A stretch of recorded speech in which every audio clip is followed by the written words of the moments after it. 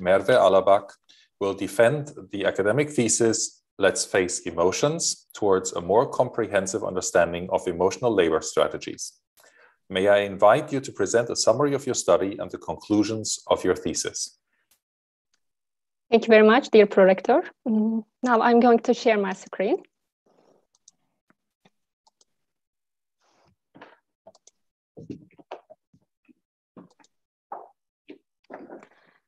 Dear Prorector, uh, dear committee members, dear supervisors, colleagues, family, friends, and audience. In the upcoming 15 minutes, I will give a summary of my dissertation. As you know, uh, due to COVID-19, uh, wearing a face mask is a part of routine life. Although it is annoying at times, it is required. This face masking requirement may be a way of making another serious point. In today's service-oriented economy, many employees face another uh, mask requirement, which is expressing certain emotions at work. Like physical labor, which is the physical things that we need to do, there is also emotional labor, uh, which is the work employees need to do to manage their emotions when interacting with their clients. This is called emotional labor. It may be less visible than physical labor, but this type of labor occurs where employees constantly manage their emotions as part of their job. Today, many jobs demand emotional labor. For example, flight attendants, uh, teachers, baristas, waitresses, uh, doctors, nur nurses, they all deal with they all deal with people, clients, uh, that are not necessarily treating them the nicest way, but they are still expected to be nice towards them. Uh, so it may sound easy to smile other people, but imagine yourself holding a smile for eight hours. Uh, so the question is, how do employees do that? Of course, the obvious way is to do that, uh, fake it until you make it. This is known as surface acting. Uh, it is uh, known as surface acting because it's all on your face. It's not really felt. Uh, for example, a flight attendant uh, has to say goodbye in a friendly way to every single passenger leaving a plane. So she can use surface acting to do that.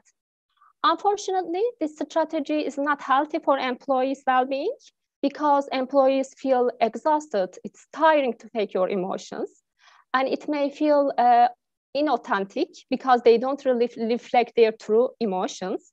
And at the end, they may look a little bit manipulative or deceptive towards to their customers.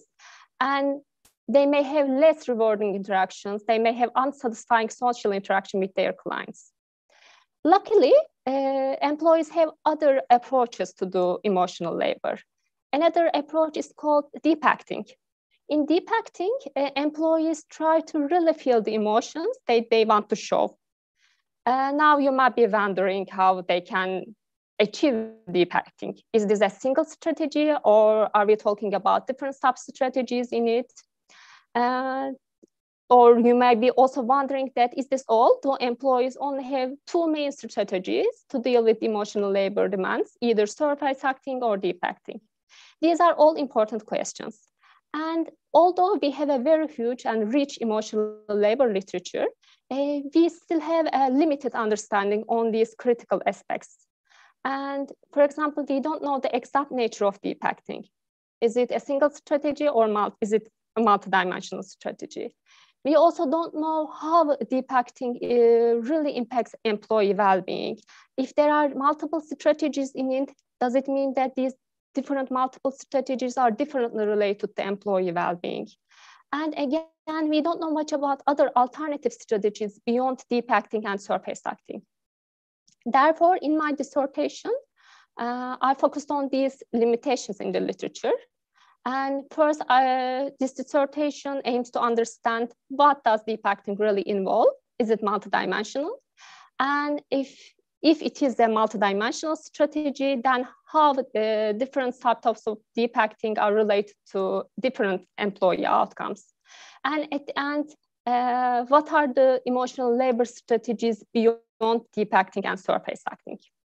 To address this uh, question, we conducted three empirical studies. In the first study, uh, we had a daily diary design we ask our participants to keep diaries and uh, tell us what kind of deep acting strategies they use throughout the day and how uh, they felt uh, during that working day. Did they feel uh, depleted? Did they feel authentic or inauthentic? And how rewarding, how, to what extent they had rewarding interaction with their clients. In, and their uh, approach allows researchers to track uh, participants in their natural environment. So we can learn more about the day-to-day -day, uh, emotional labor experiences of employees. In another study, we used a different approach, a different methodological approach, and we had a lab experiment.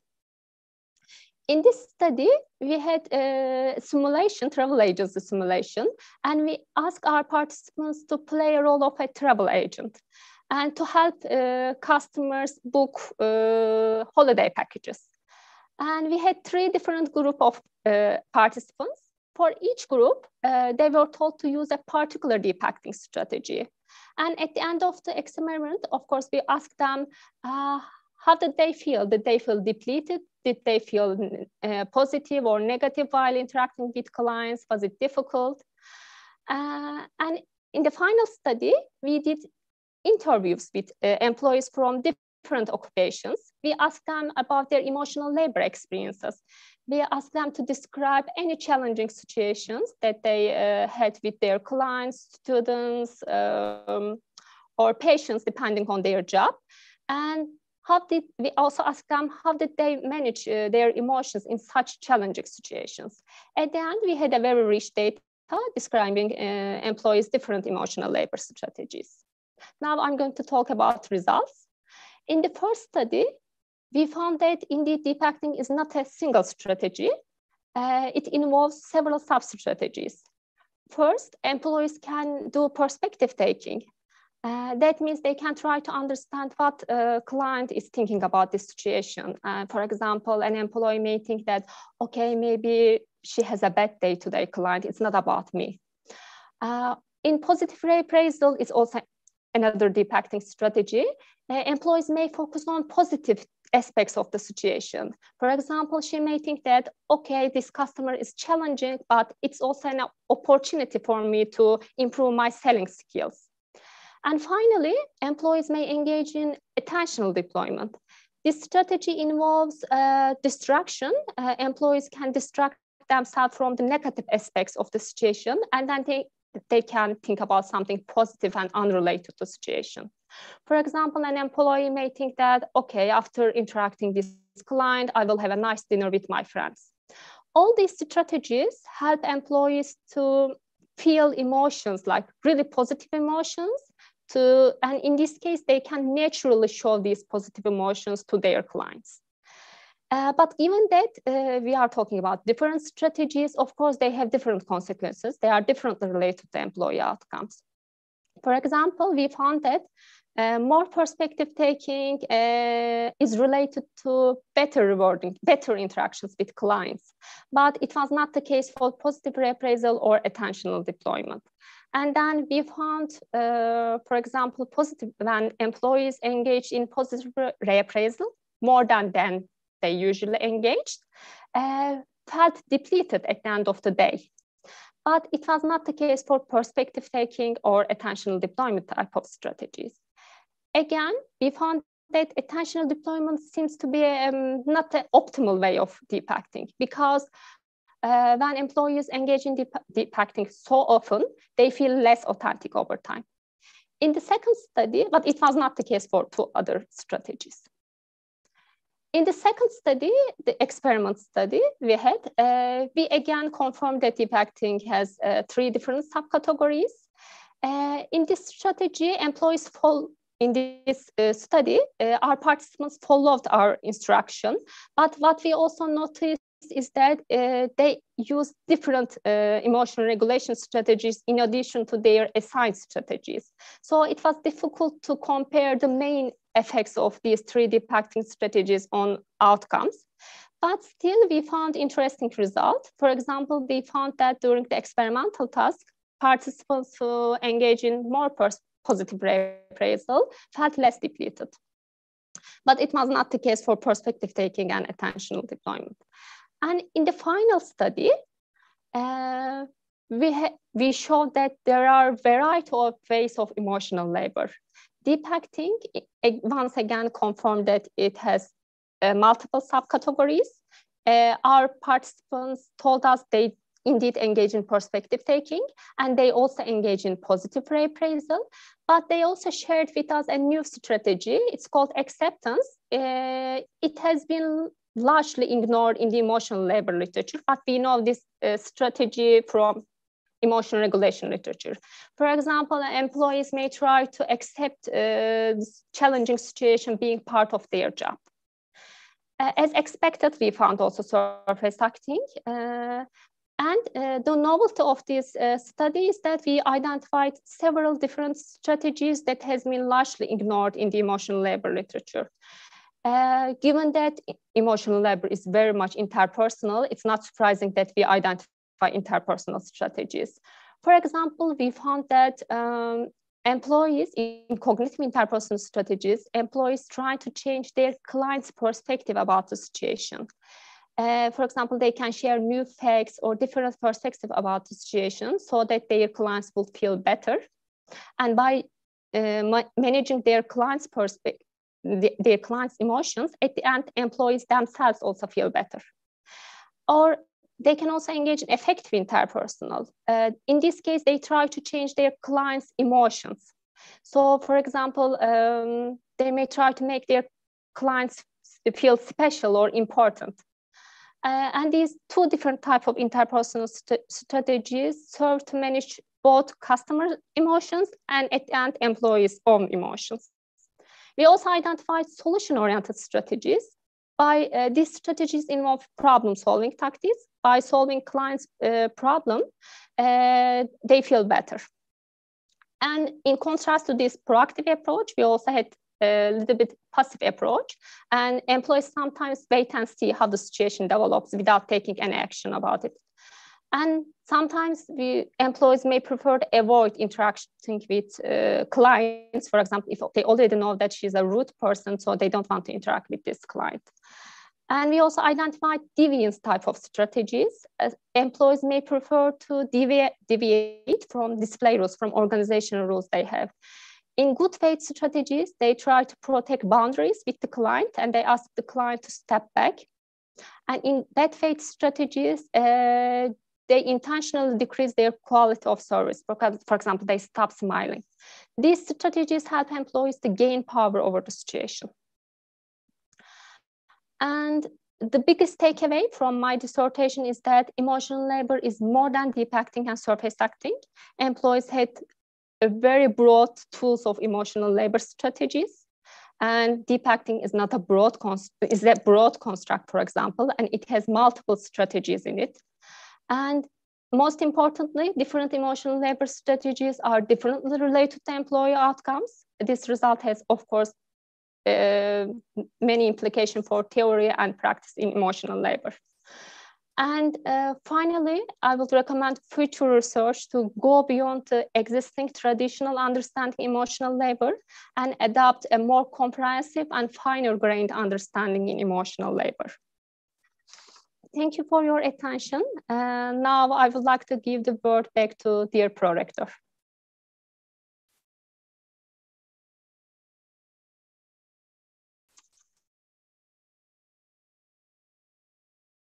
And thank you for your presentation.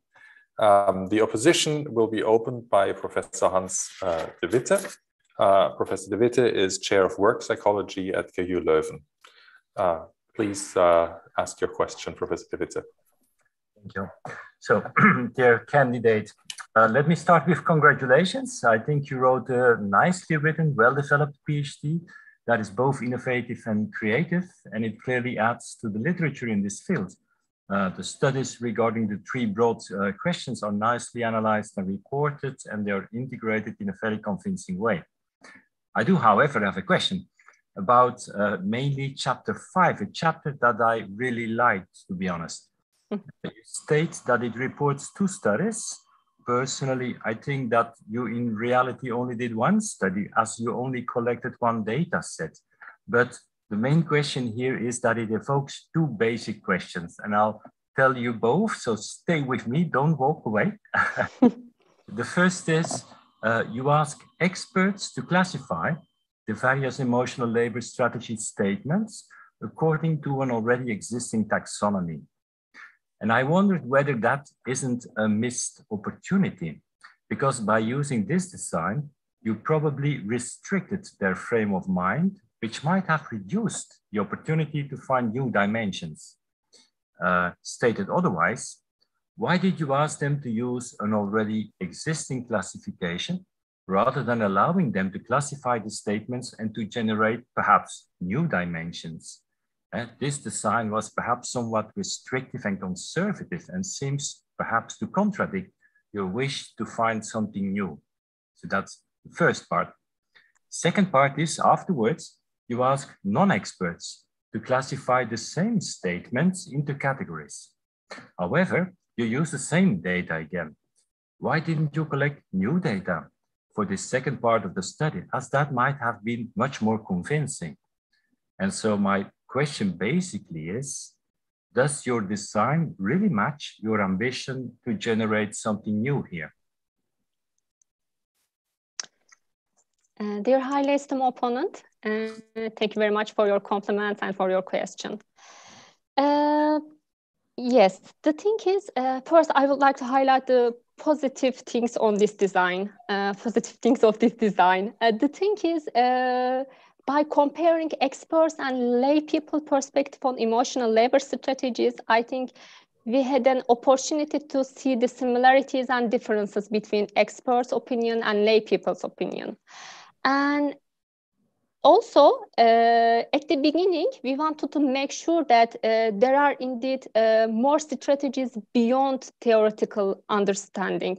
It could be that, for example, these strategies that we identified, they may fall into existing categories in emotional labor literature. So we wanted to make sure that like other experts also agree with us, these strategies are indeed uh, novel categories and that, that has been largely ignored in the literature. So in the first step, we wanted to make sure that according to experts, these strategies are also not well captured in the literature. That's why we had this uh, step. And also, I think uh, uh while designing this study, uh, I also look at of course, emotion regulation literature, coping literature, the broader literature, to see how they, uh, what kind of design do, do they have uh, to understand broader strategies. And then I also found that they use kind of a similar uh, two steps because these two steps are different, but they are complementary to each other.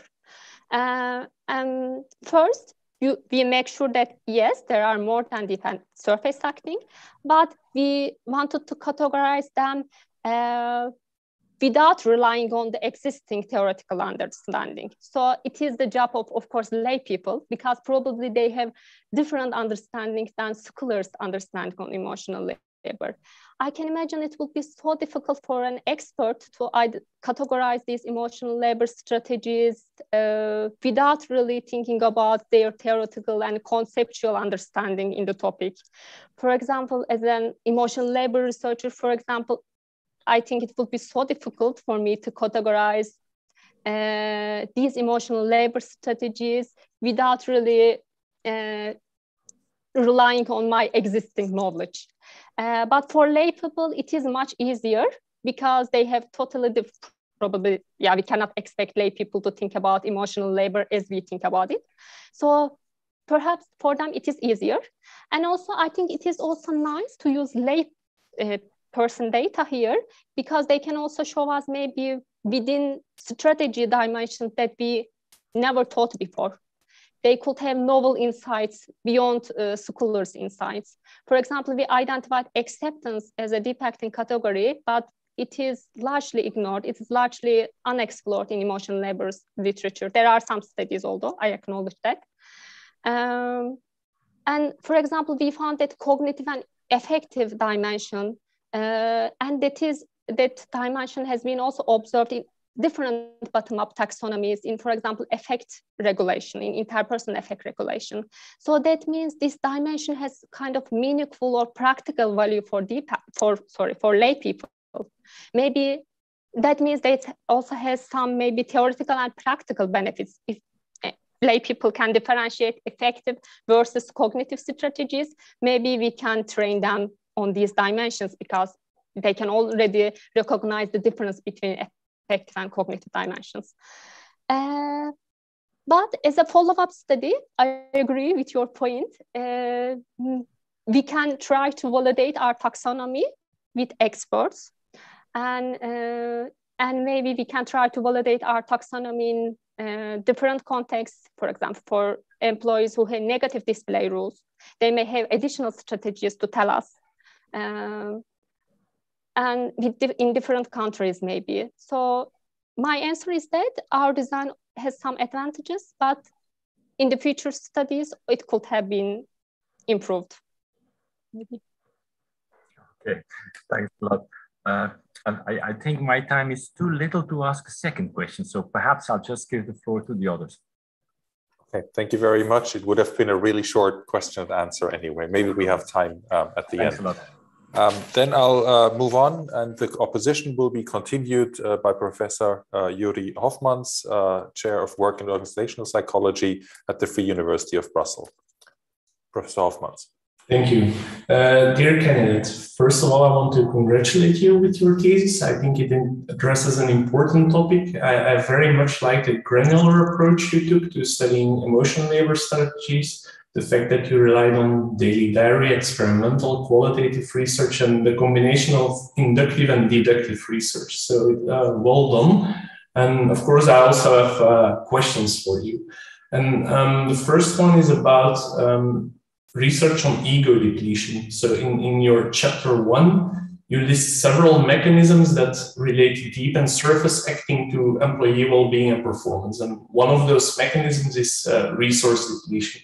And then when reading your reasoning and when looking at the scales that you used, and I think it was the state self-control scale and also in the experiment, uh, the arithmetic problem styles, um, I could not help but thinking of the research on ego depletion and the current debate on uh, the lack of replicability surrounding the phenomenon. So um, my question is whether you think that the problems with the phenomenon of ego depletion, including those multi-lab studies that fail to support the effect, are problematic to your reasoning and whether they challenge your findings. So, so is the current debate relevant to your findings and the interpretation of these findings? Uh, dear highly esteemed opponent, thank you very much for your question uh, and for your uh, nice words. Uh, I know that debate. Yes, you, you are right. Uh, it, there is a, a, yeah, there has been a long debate about uh, whether can we really measure resources, what are the resources, and then emotional labor is really depleting, and if so, how can we make sure? but self-control perspective has been really influential in the emotional labor literature. Uh, and the idea is that like different emotional labor strategies have different consequences just because they have different impact on employees' resources. So that's the main uh, assumption in the literature. Uh, and while designing this study and in the uh, writing of this uh, manuscript, uh, yes, I have benefited from self-control perspective, ego depletion perspective. Uh, and uh, what I can see, say is that like surface acting is um, resource depleting because uh, when employees engage in surface acting, uh, they need to monitor their expressions all the time. And uh, so it is of course depleting at the end. And this is that's why we, we found for example several um, negative negative relationship between self-authenticity which can be considered as a resource in, according to literature and we found that uh, when we look at the result between the uh, self-control scale and again surface acting was positively related to this uh, scale. And that means uh, at between and within person level, uh, when employees engage in surface acting, they they are more likely to feel depleted. But for different deep acting strategies, it was not the case. Again, there is a discussion, of course. Uh, it could be that there are different uh, clashing mechanisms uh, when employees engage in deep acting. So this different me mechanism may uh, rule out each other. And at the end, we can see some null, null, null relationship between deep acting and outcomes. But in our study, since we had uh, specific deep strategies, we were able to observe the relationship between uh, different strategies and these outcomes. But we found, for example, perspective taking seems to be uh, resource enhancing because employees reported rewarding rewarding interactions for perspective taking. Uh, and for positive reappraisal, again, it is also acknowledged in the broader emotion regulation literature. Positive reappraisal might be an adaptive strategy, but it doesn't mean that this strategy is so easy to do. It is effortful, and that means it can be resource depleting. And then this is that's why at the within person level, we identified that when employees engage in more perspective taking than their average level of perspective taking, and they felt depleted. Uh, I think that's also a sign that this strategy is effortful, uh, in my opinion. Uh, for yeah, for attentional deployment, for example, we also found that um, it is not really uh, an optimal strategy. So because it is also negatively related to self-authenticity. Uh, if I go back to this debate, uh, I still see, see, that resource depletion uh, perspective is influential in the emotional labor literature because it helps us understand why some sort of strategies lead to these outcomes, but on the other hand, different strategies don't lead to these outcomes. So in my opinion, self-control view is at least still valuable to understand the mechanisms behind these relationships. Um, okay, so so would you would you say that the idea of um, like um, depletion still holds, but it's actually the combination with the way in which they tested this using those experimental designs that is flawed? Would this be your uh, idea about the depletion?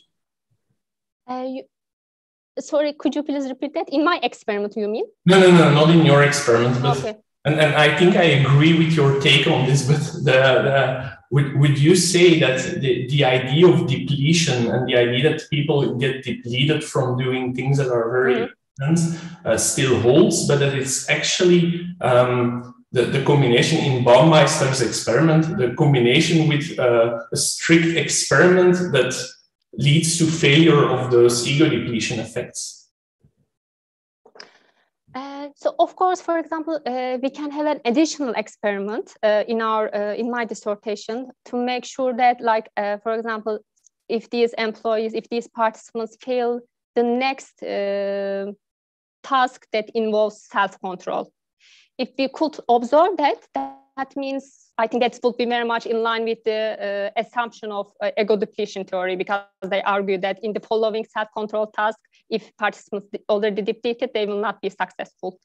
So, uh, but it, luckily in my experiment, indeed, we had this math test uh, to see that because it was also, yeah, it was very easy math, but the idea was that if you already feel depleted, you are not, you won't be able to even answer these uh, math questions in a short amount of time. This was the idea. So indeed, we found that for, for positive reappraisal, of course, the power was limited. I didn't have many participants, but still there was some correlation. And we found that positive reappraisal, for example, was uh, negatively related to this uh, depletion task. Uh, okay, thank you very much. Uh, thank you. Um, the order of the opposition will be continued by Professor Angelique de Rijk, Chair of Work and Health at Maastricht University. Thank you. Dear candidates, um, well, also my congratulations to your interesting thesis. Um, also, in my opinion, it focused uh, to a very important and interesting topic. And in the field of work and, and also in relation to health, its uh, emotions are very often uh, neglected. So I also learned a lot from your thesis. Um, and uh, as has been said already, your thesis is a showcase of different um, interesting and innovative research methods, including a diary study and an experimental setting in a travel uh, with a travel agency it's about the implications of choosing these methods that I have um, uh, that I would like to talk to you and I have a, a question to you because um, it might be seen as a drawback that you cannot draw any conclusions on long-term effects, um, on the development of common mental health disorders, on the development of uh, sickness absence uh, in the end. And it will not surprise that from a work and health perspective, I was, well, started to think about uh, that. And I uh, checked your thesis very carefully, but there is also hardly any discussion on the long-term effects. While in the in the beginning, in the introduction and second chapter, you address uh, other research on long-term effects. Um, so uh, I wondered um, why you did not discuss this in the discussion, and if you would um, edit a part on on discussing this, could you explain? Um, first why you uh, did not focus on long-term effects, and secondly, um, what what would you could you say a bit more uh, and maybe raise some uh, formulate some hypotheses regarding the translation of your results to long-term effects and what needs to be studied? Dear highly esteemed opponent, uh, thank you for your nice words and for your question. Uh, yes, I agree with you. Emotional labor has indeed a long-term impact on employees' well-being, and this is this needs to be addressed very well. I agree with you. Uh, as I acknowledged in the introduction, uh, especially surface acting is known as a very maladaptive uh, in short term and also in long term effects on employees' well-being and health outcomes. Um, to to be able to make sure uh, different emotional labor strategies are have different long-term impacts and we of course need to have a longitudinal design. Uh, and there are some uh, studies in the emotional labor literature at this i can uh, answer your question based on their finding. And what i can say is that um, surface acting seems to be a kind of a, always a predictor of health uh, over a over a long time. But uh, for deep acting, again, because these strategies didn't separate different deep acting strategies, they found a little bit mixed results. For example, in one longitudinal study, they found that uh, well-being of employees is a predictor. It comes first, then deep acting strategies comes later. But in another study, for example, they found that uh, no, deep, yeah, employee employees deep acting comes first, and over time, just because employees use deep acting, they feel better. Uh, of course, we need to do another longitudinal study with perhaps using specific strategies like perspective taking, positive reappraisal, and attentional deployment. But uh, I can also tell about another research, uh, uh, for example, um, yeah, my PhD supervisor, Dr. Hülsheger research, she conducted a longitudinal study and she trained employees uh, deep acting strategies. And over time, uh, they were able to observe how these outcomes are developing. And uh, they found that, for example, indeed employees, after these trainings, uh, employees, um, because they learn how to do deep acting, it becomes so automatic for them even. So like, because when it is automatic, it's also easier to do. And it, that means your well-being will be better because you don't really feel effortful when you engage in emotional labor.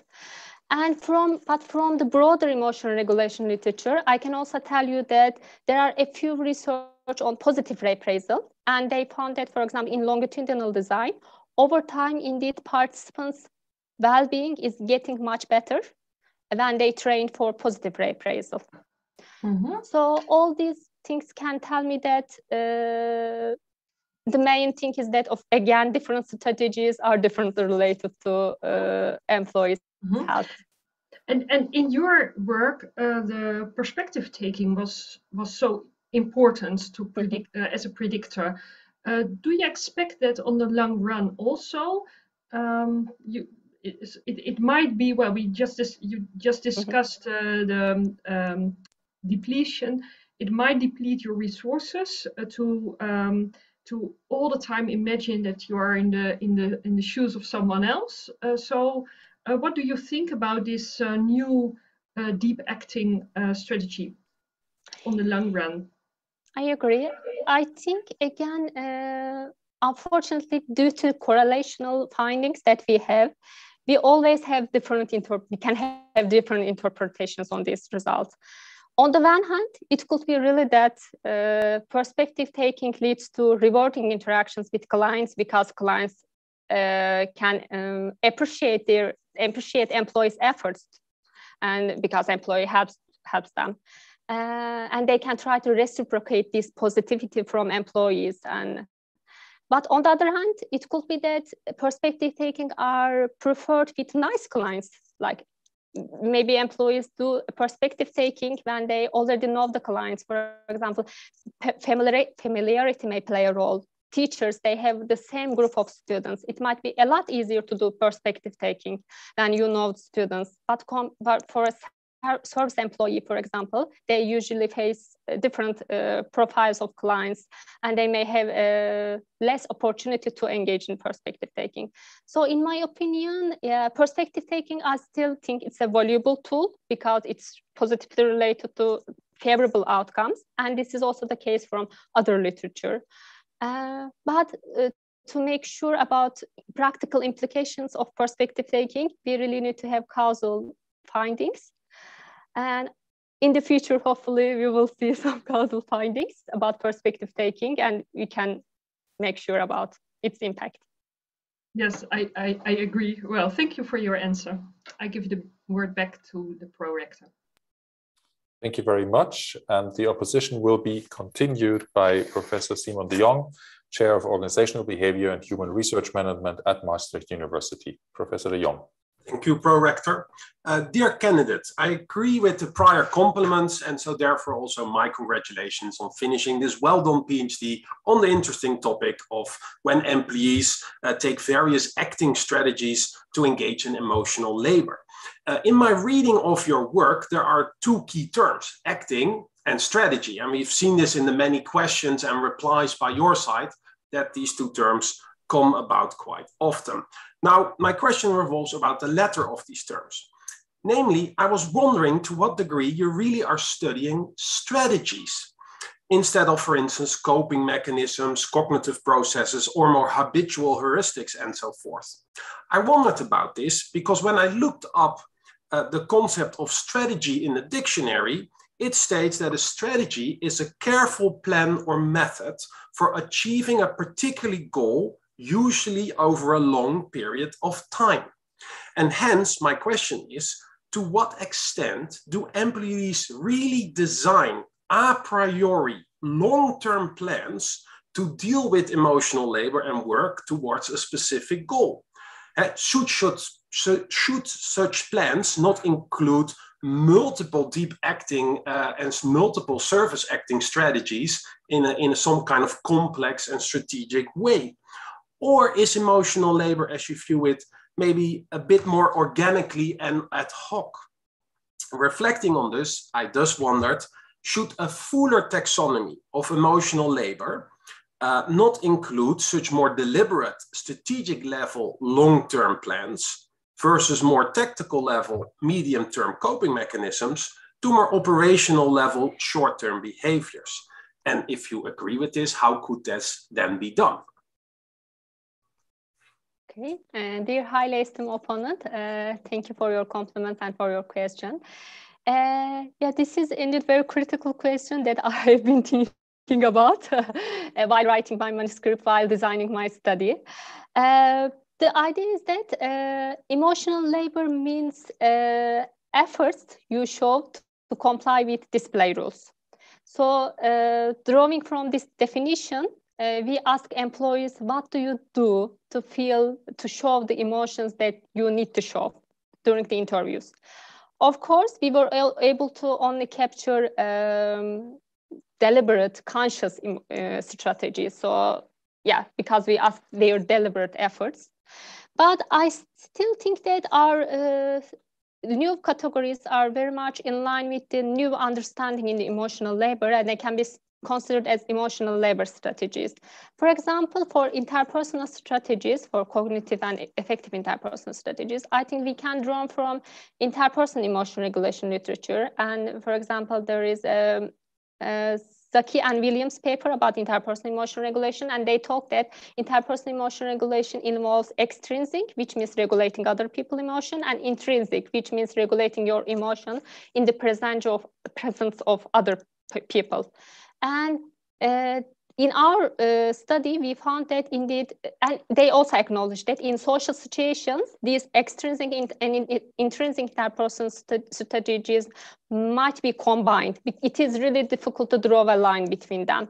And I think it is the case for emotional labor. Employees really use intrinsic and extrinsic interpersonal emotion regulation because their goal is to show the expected emotions and to comply with display rules. Their goal is to uh, satisfy customers and to give the best service possible. So uh, I can think of them as like strategies. And also, uh, I can also tell you this. Uh, there is a recent paper in Journal of Organizational Behavior about, um, they, they talk about response dependent emotional labor. They say that so far we always assume that, yeah, employees simply follow display rules. Uh, but it, in reality, it's not the case. Employees indeed adjust their uh, affective displays uh, to customers' affective states. For example, and emotional labor is very much depending on customers' feedback. I think in my, my um, strategies in our bottom-up study, I think this is very much consistent with the findings of this recent study.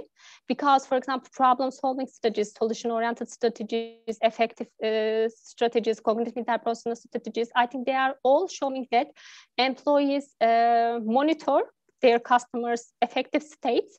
For example, a customer is angry because there's a problem, and that's why they engage in maybe solution oriented strategies. Uh, and at the end, their customer feel better and they can also have their emotions regulated. In my, yeah, I can also see that there are conceptual similarities, for example, for solution-oriented strategies and problem-solving coping. Uh, but again, uh, I think, yeah, coping is a much broader term. It also involves yeah, emotions and behavioral regulation. But I think uh, these strategies are emotional labor strategies because employees' goal is at the end to um, simply follow their organizational rules, their organization's expectations. And to be able to do that, sometimes they man manage their clients' emotions, sometimes they try to solve the problem at hand.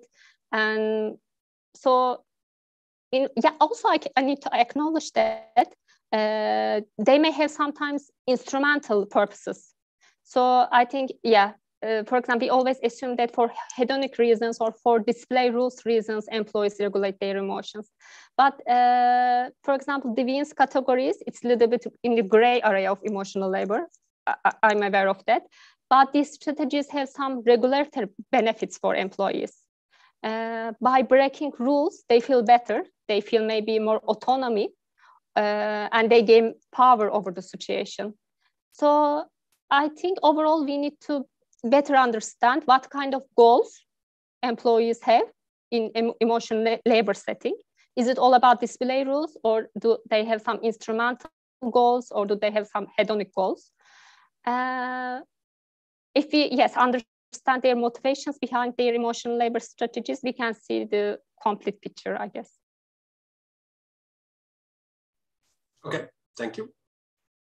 Thank you very much. Then we'll move on with the opposition to Dr. Caroline Martijn, Associate Professor of Social Psychology at Maastricht University. Dr. Martijn. Thank you, Pro-Rector. Um, dear candidates, I also want to compliment you with your uh, nice work uh, under difficult uh, circumstances. And I want to compliment you with the mix of methods and also with the beautiful design of your uh, your book. Uh, very nice, and it seems to be you at the first. Oh, you can't see it, but it, it looks like you at the first page so that you've modeled here. Uh, very nice. Uh, thank you. Um, and I received your your book uh, a few weeks ago. And since then, I have been chewing on it. Uh, so that means that you um, really have a very interesting topic. Um, and one of the things because because I'm I'm uh, I did some ego depletion research uh, myself. I was also in these lab studies, but I'm not going to ask you about that, but about related uh, work. And maybe you know it, uh, the work of Bru Brad Bushman uh, on anger management. Are you familiar with uh, that work? It doesn't matter if you're not. I'm sorry, I'm not familiar no, with no, that word. No, yeah. no problem at all, because I will explain the idea. Okay.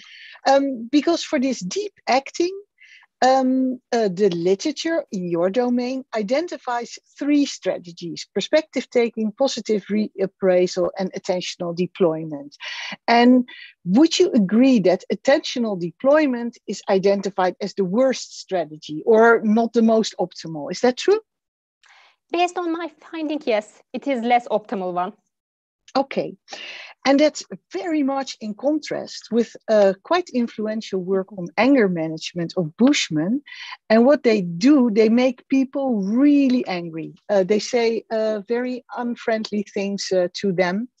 And then they um, uh, can show their anger uh, so be very authentic. And uh, for example they can kick on the face of the person who insulted them and which is glued to a boxing ball or they have to count to 10 to self-distract uh, themselves.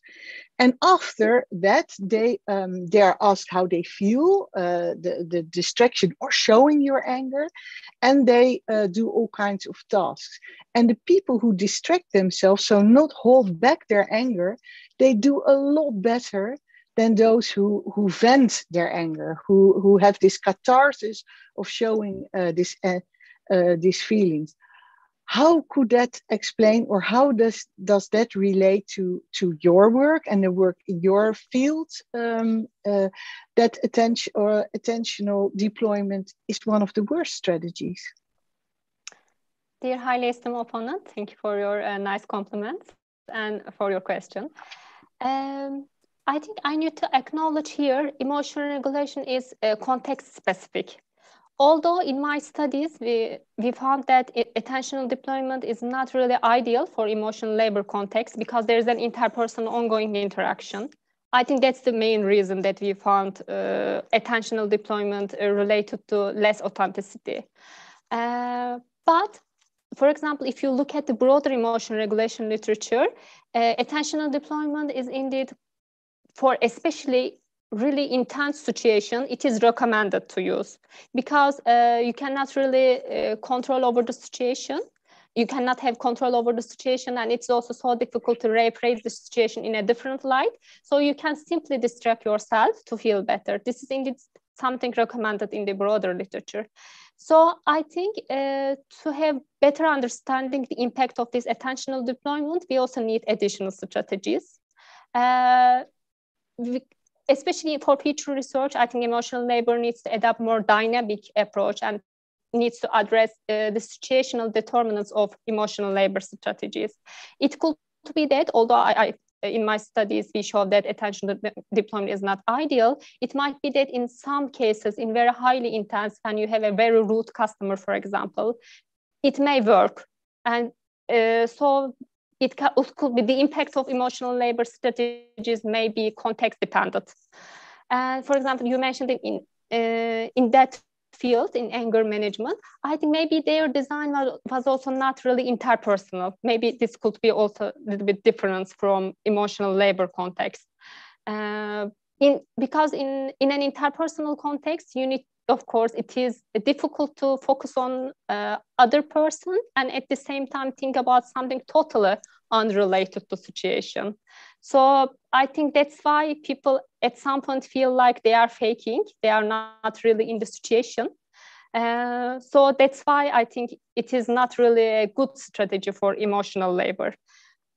Uh, but at, at the same time, uh, I need to acknowledge that sometimes we don't know yet for the emotional labor literature, but based on the emotion regulation literature, I can say that it may be helpful to get through the situation at some point. Uh, but yeah, of course, compared to positive reappraisal and perspective taking strategies, I think it, it should be less uh, preferred strategy overall. This is what I can say. Um, and I will also definitely look for this anger management literature to get more inspiration about how to implement these insights to emotional labor. Um, yeah, thank you for your very balanced answer. Or I think that's a very yeah um, yeah you you you you're definitely he heading at so, something. Uh, there was sometimes a follow up, or the, the, person that made you anger that you also had to interact later on with that uh, person, and that the, those interactions were scored. So. Uh, and then they saw those who were able to wait or distract themselves that those uh, interactions went smoother. But I definitely agree that there are, uh, it's not an ongoing uh, fast interaction as in uh, as the type of situations that you are studying, but it might be might be inspirational. Um, Pro-Rector, do I have time for another issue to discuss? Um, a, a short, a short question and a short answer. Absolutely. Okay, I will try to bit short. Um, it's it's more of an ethical question, uh, and I want to ask your opinion about that. I was wondering, um, the people who have to do the most emotional uh, labor are, for example, service employees at call centers. Um, mm-hmm. Those are not the best jobs. They're often underpaid. Um, uh, it's horrible work.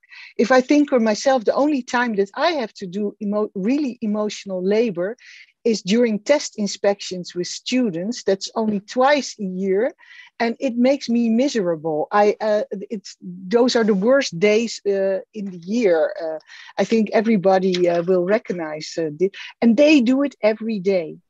So I was wondering uh, what is good for the client and the customer. They want authentic, perspective-taking customers.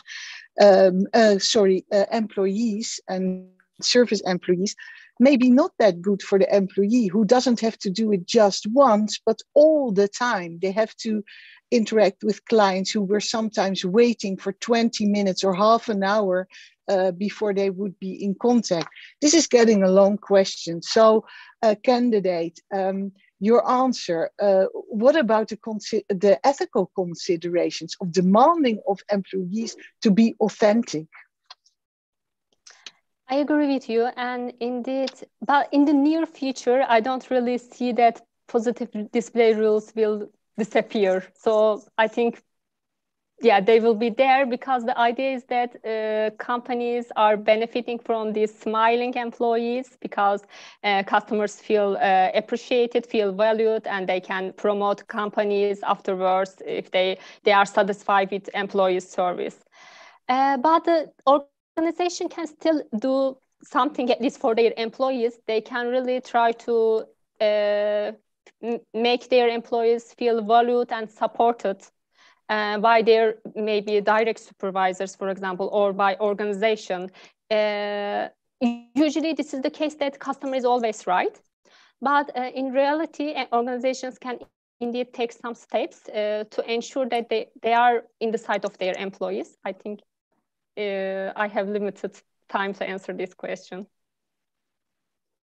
Thank you very okay, much. Maybe we can get back uh, on this later. Thank yes. you, candidate. Thank you. Thank you very much. I would like to continue the opposition by uh, Dr. Sjir Uitdewilligen, uh, Associate Professor, Work and Organizational Psychology at Maastricht University. Dr. Uitdewilligen. Thank you. Dear candidate, uh, dear Merve, uh, my congratulations with this beautiful dissertation. Uh, I appreciate how you very clearly explain your concept and your ideas. I really learned something from reading it. And I also particularly like that you did not take the existing framework uh, for granted, but instead critically evaluated the originally proposed strategies and proposed uh, additional ones.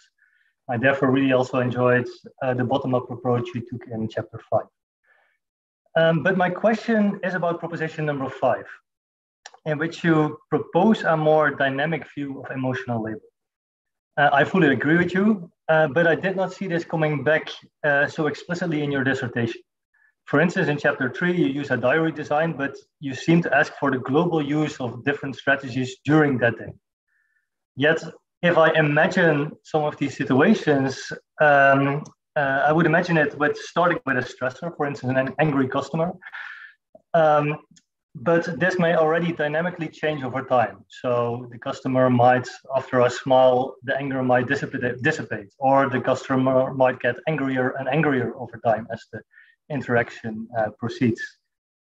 Uh, and then the strategies may also dynamically change over time. The waiter may initially start with deep acting, but may revert to surface, surface acting when this does not remain a viable option uh, eventually maybe ignore the customer. So there might be all kind of dynamic processes uh, playing a role here. Now that could, for instance, imply that it's not so much the question which strategy is better, but more when each strategy is optimal to use. Uh, it may also imply that flexibly engaging in different strategies and adjusting them to the requirements of the situation might be an optimal approach. Uh, a possibility, possibility you slightly allude to in your dissertation with the poly-regulation approach, so I therefore would like to invite you to take such a process perspective and explain what the theoretical implications would be and speculate what this also would imply for your findings, uh, for instance, regarding the differential effects of emotion uh, labor strategies. Dear esteemed opponent, thank you very much for your compliment and for your uh, question and insights. I totally agree with you. Indeed, uh, for my uh, future research, I also would like to go into that direction to adapt more dynamic approach of emotional labor. And uh, what I can say is that like uh, the order of strategies may play a role indeed. For example, it could be that uh, perspective, for example, employee may first try to distract uh, herself uh, from negativity in the situation, just and it gives them some time to reappraise the situation. So at the end, maybe uh, an employee feels better. But it could be that some employees, there might be also individual differences in these uh, dynamics. It could be that some employees uh, prefer to use multiple strategies, like in polyregulation approaches suggested. And also it could be that some strategies uh, are, sorry, some people are constantly using the same strategies. Uh, and the question is again uh, that we need to address, uh, should we look at the quality or quantity of these strategies? Uh, it could be that less strategies are okay because employees at the same time uh, use less resources to regulate their emotions, but it on the other hand, it could be also that uh, when they use multiple strategies, they can manage their emotions better. So these are definitely all important things. And also regarding the flexibility you mentioned, I agree with you. And we know, for example, from the broader literature, they suggest that indeed it is really important that people are flexibly use emotion regulation strategies depending on the situation demands. And it is the most uh, healthy way. Uh, but we need more insight for emotional labor and also in emotional labor, because the interaction is, of, course, in, interpersonal, employees may change their uh, emotional labor strategies uh, to customers' feedback, social feedback, as I said. For example, for these uh, strategies we have identified in the bottom-up approach study, uh, these affective interpersonal, cognitive interpersonal, they, their success, I think, very much depend on the customer feedback. It could be that customer is okay with the cognitive interpersonal strategies. They can see the different perspective in the situation, but maybe some customers, they don't like it. They don't want to be challenged by the employee. They just want a solution in the situation. So these are all the important questions that we need to definitely address. Uh, and polyregulation perspective in the broader emotion regulations um, literature is a good starting point. We have many theoretical insights. And we need to better understand how this polyregulation works in the context of emotional labor, whether employees use different strategies at the same time. Do they use them simultaneously in close sequence maybe? And is there any pattern of uh, the order of these strategies and how these patterns are related to employee outcomes? Thank you. Then, do you have another question? Uh, Dr. Uitdewilligen, or? Um, I thought maybe Caroline Martijn wanted to finish on her question of the. no, then shall I go on with my uh, other yes, question? Please. Yes, uh, good. So in in your final chapter, you come up with a number of new um, strategies, um, but I, I I kept on wondering, based on the definition of emotional labor that you gave, whether these are actually really emotional labor strategies or whether they're more strategies that people use that might even avoid engaging in emotional labor. For instance, walking away or talking with colleagues. Would you still call these emotional labor strategies if you stick to the definition, or are they strategies people use to deal with an emotional situation, but not necessarily emotional labor strategies? Yeah, I totally agree with you. I think that's a really a good discussion indeed. Uh, it is, I think, very much in the gray area. Uh, on the one hand, uh, they simply don't follow uh, display rules requirements. So they, yeah, the, as an, the idea of emotional labor, you need to follow display rules. But at the same time, these uh, strategies have some regulatory benefits. That's why employees do that. It could be that, for example, for avoidance, they avoid from a particular customer to be able to deal with uh, oh, customer better. Okay. Uh, Merve Alabak, uh, the time appointed for defending your thesis has passed. The degree committee will now withdraw to discuss the quality of your thesis and your defense. I request that you and your company await the results of our deliberations and our return. Thank you.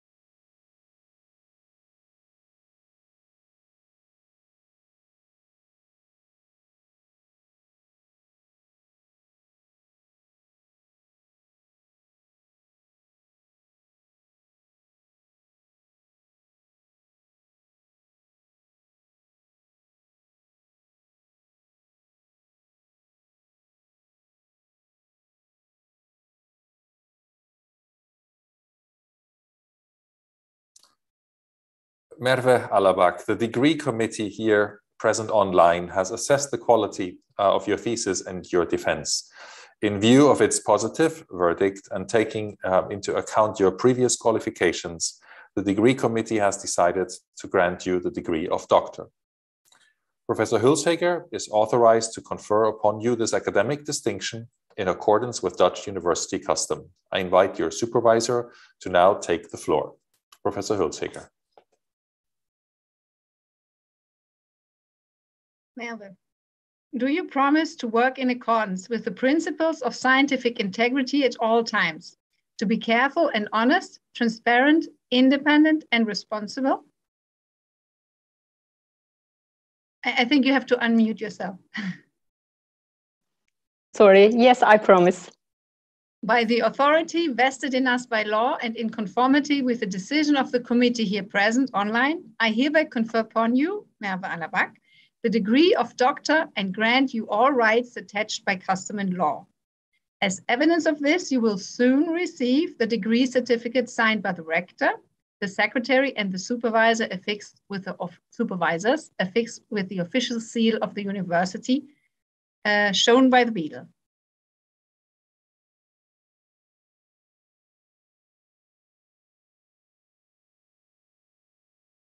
Thank you.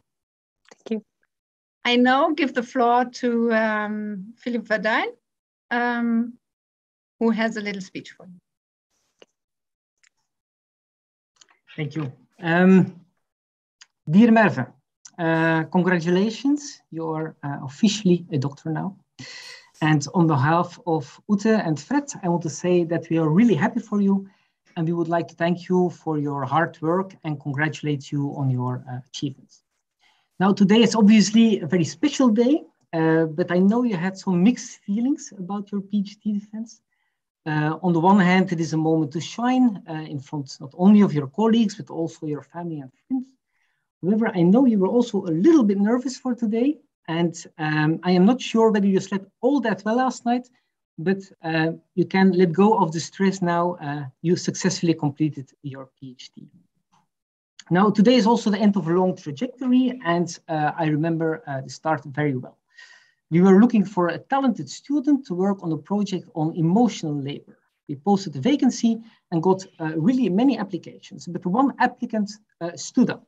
There was a certain girl in Turkey who did not only obtain a master degree in work and organizational psychology at a good university with really high grades, but she also already conducted research on emotional labor and even already published a paper as first author in an international journal. Moreover, one of your referees, I don't know, perhaps that person is present here today, wrote a very positive letter about you. So we were delighted really when you accepted our offer uh, to work with us in Maastricht. Now, when you arrived in Maastricht back in 2017 already, um, you were clearly very motivated. Um, but I think um, that there was also a little bit of a culture shock. Um, you were all of a sudden surrounded by a lot of Dutch people who tend to be very talkative and have a quite outspoken opinion about almost everything. Now, being from Belgium, uh, I hope I am allowed to say this about the Dutch. Dutch say enough about Belgian people, so I feel entitled to say it. Uh, anyhow, it was a different environment compared to what you were used to, and probably also quite challenging for a more a rather introverted person uh, like yourself. Sometimes people had to push you a bit to join lunch or other social events. And the fact that riding a bike was also not that easy for you at first did not help to go to social gatherings. I remember that soon after your, after your arrival, there was a PhD defense party outside of Maastricht, and the other PhD students really had to push you to go there. But in the end, you enjoyed yourself. Um, However, you eventually, I think, uh, you found your place in the Netherlands. Uh, you made friends, found a partner, and you became a valued member of our team, uh, professionally, but also personally. Um, we are always looking forward to you bringing Turkish delights or other sweets. Right? As you know, my wife really likes the honey you always bring from, from your family.